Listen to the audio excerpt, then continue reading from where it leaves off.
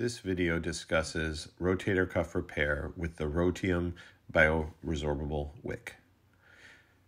As we prepare the tuberosity for this full thickness tear, we can see that there is a delaminated edge of the supraspinatus tendon. First, our goal is to get the soft tissue off, and then with either a aggressive burr or aggressive shaver, we can prepare the tuberosity. An anchor is then positioned in appropriate fashion in the center of the tear. Marrow vents are also made during this process. The anchor is then appropriately positioned. Once the anchor is positioned, we are able to go to the use of the patch, and the Rotium patch is then brought onto the field. A bird beak is able to be placed centrally through it it is robust enough to accommodate this without tearing. The sutures are then able to be grabbed through it and it is loaded onto the sutures. This is then pushed down all the way to the cannula. Once there, we are able to fold it with a suture grasper and position it underneath the cuff at the position we would want it underneath the tendon on the greater tuberosity.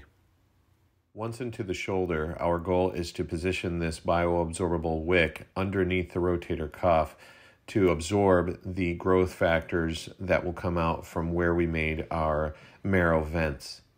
Our goal is to capitalize on the growth factors from the marrow vents in order for a good repair of the tendon. Once positioned appropriately, then a standard repair is completed.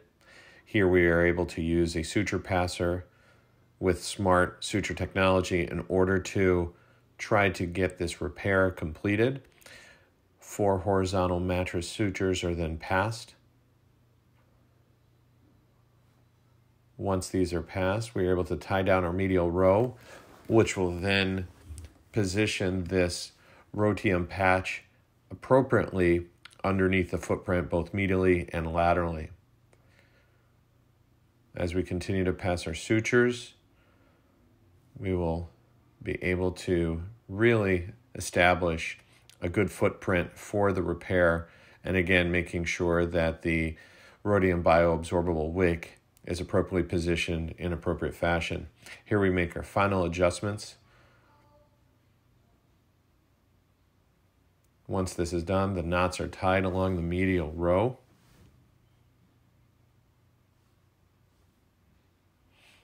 Again, a standard repair can be done in any fashion that is appropriate to the surgeon. In this particular case, this patient has good quality tissue and therefore a product that would either increase the size of the tissue is not necessarily needed in this type of repair. Our goal here is just healing of a good, healthy tendon. Finally, we will put down our lateral row. In this case, we're using self-punching anchors with a PEEK eyelet. Final tension is positioned in this anterior anchor. Next, we are able to take the sutures that are remaining for the posterior anchor, and we can see just a tiny sliver of the Rotium patch If there was extra, we could remove this with a meniscal biter, but in this case, we'll leave it in position. We're happy with our tension and our repair.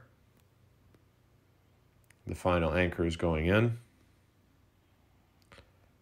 Lastly, we will look at our repair and make sure we are happy, and we can see we have an excellent double row fixation with good compression of the cuff, as well as the Rotium patch is completely covered and in between the tendon and the tuberosity. Thank you.